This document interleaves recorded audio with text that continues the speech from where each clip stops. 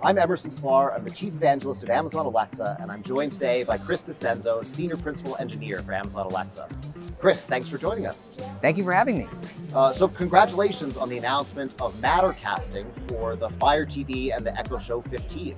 Uh, what, what can you tell us about the announcement? We're really excited to be the first company to launch support for Matter casting. We've been developing it over the last few years uh, within the Matter working group and adopting it across Echo Show 15 as well as uh, compatible Fire TV devices and Fire TV Edition TVs, like the one you heard us announce earlier this week from Panasonic.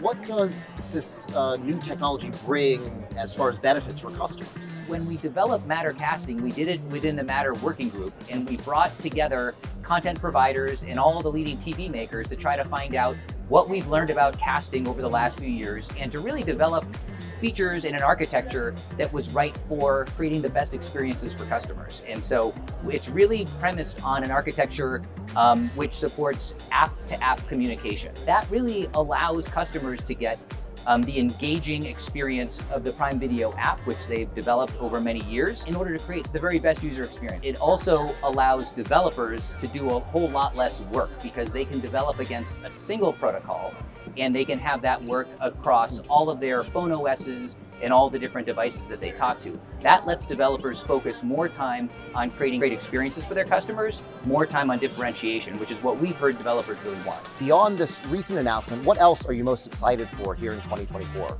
Well, we've really been working hard over the last year at Amazon to build the products that are going to be coming out this year. Mm. So products like the Echo Hub, which is a, a smart home dashboard um, that has a hub built into it. And that that is just going to be an awesome experience for customers.